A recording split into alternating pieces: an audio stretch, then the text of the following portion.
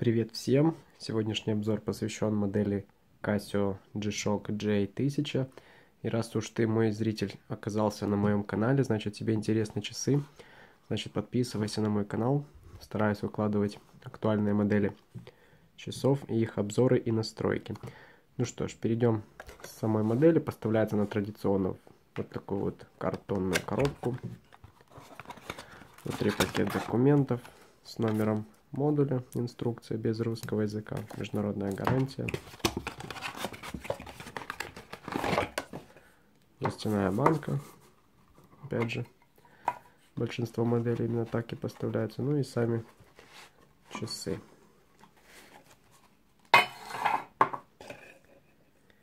Таким образом выглядит J1000, одна из любопытнейших, на мой взгляд, моделей в плане дизайна достаточно агрессивно выглядит.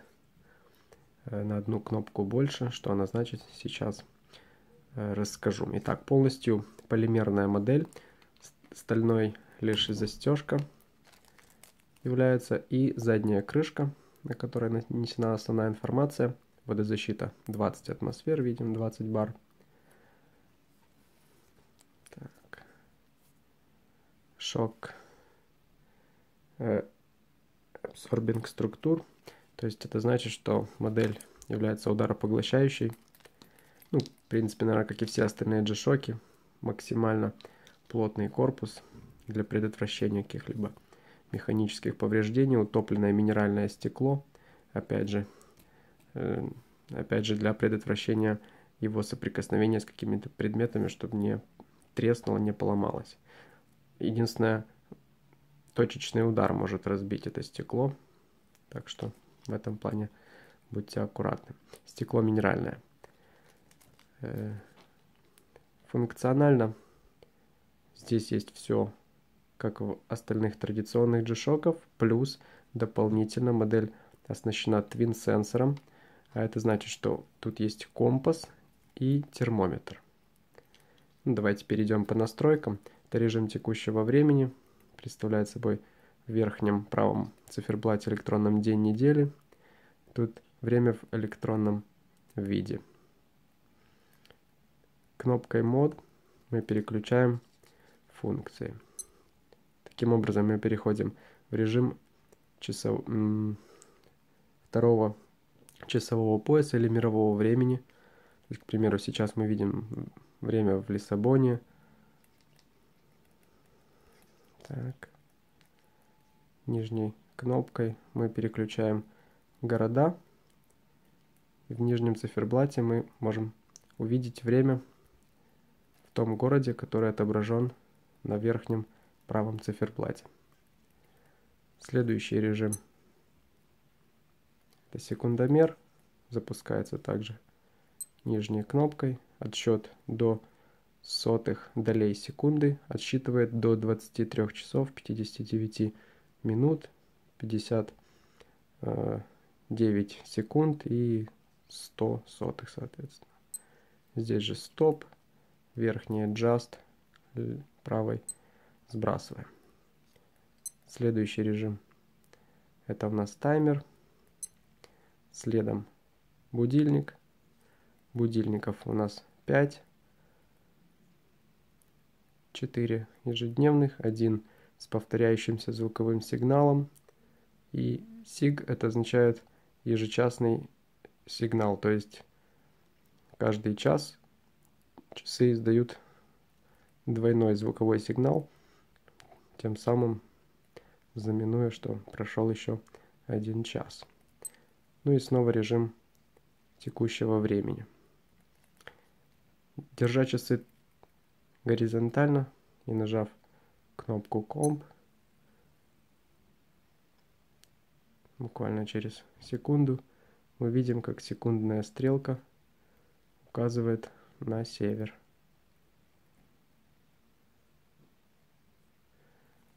Выход из режима кнопкой мод. Секунда возвращается в исходное положение. Чтобы узнать текущую температуру, Нажимаем правую нижнюю кнопку. Опять же, буквально после секунды мы видим текущую температуру. На температуру влияет, естественно, рука, освещение, влажность. То есть, если вы хотите измерить температуру в помещении, нужно часы положить минут 20-30, наверное, не меньше. И они уже более-менее корректно покажут результат. Возвращаемся в режим текущего времени.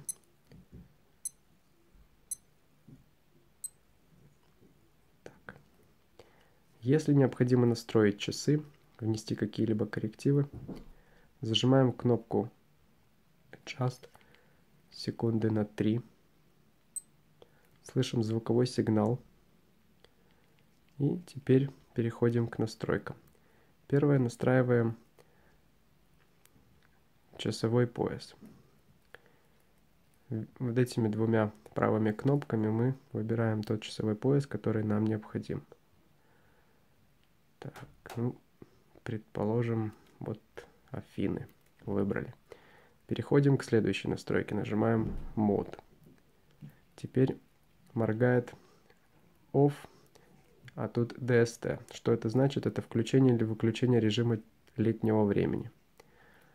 Пожалуй, включим. Теперь DST on, то есть включен режим.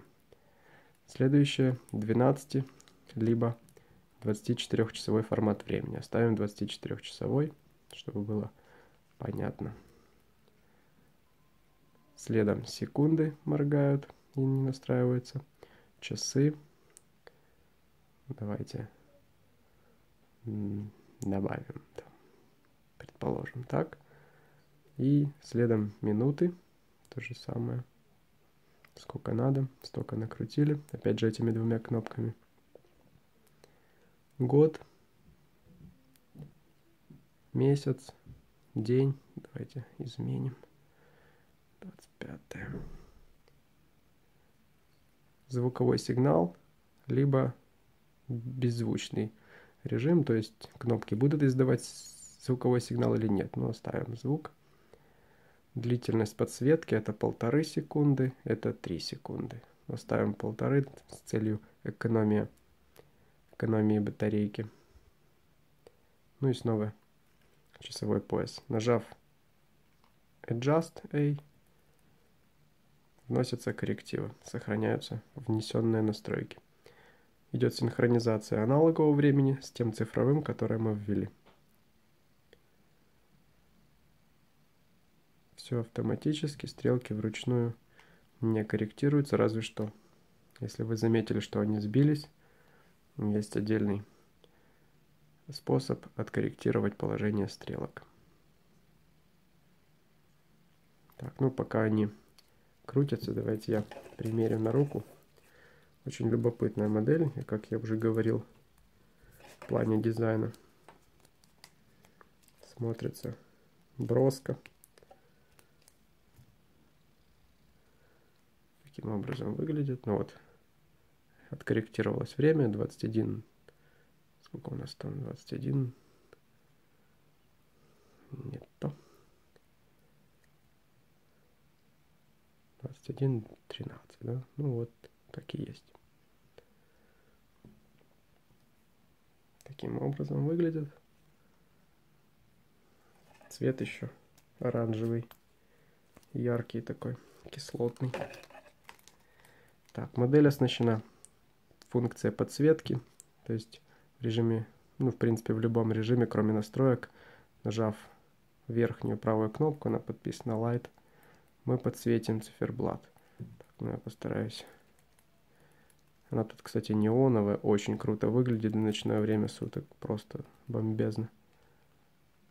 Подсвечивается буквально кончик секундной стрелки и в районе каждого из часов, каждой метки также идет отражение в таком вот синем неоновом исполнении. Плюс светонакопители на стрелках. Они также отражают свет, поэтому все читабельно. Ну, за исключением, конечно же, электронных табло, они практически не считываются в темное время суток. Э, можно, кстати, включить функцию автоподсветки. Это при взмахе руки на 40 градусов часы автоматически будут подсвечивать циферблат. Как это сделать? В режиме текущего времени зажимаем кнопку Light секунды на 3.